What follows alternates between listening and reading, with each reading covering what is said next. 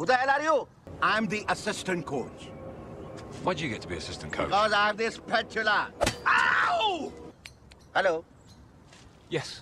Do you know what happened to the landlord after he killed Dennis Doyle from downstairs? No. They gave him a medal and a nice foot massage. I remember the feeling of being complete, of spending every day with my best friend. But most of all, I remember all the fucking. I bought you new running shoes, Dennis. The men said they were the best you can buy. Yes, but, but, but, but. Always but. Always excuses with you. Always some reason why it's not your fault. I have news for you, Dennis Doyle from downstairs. It's all your fault.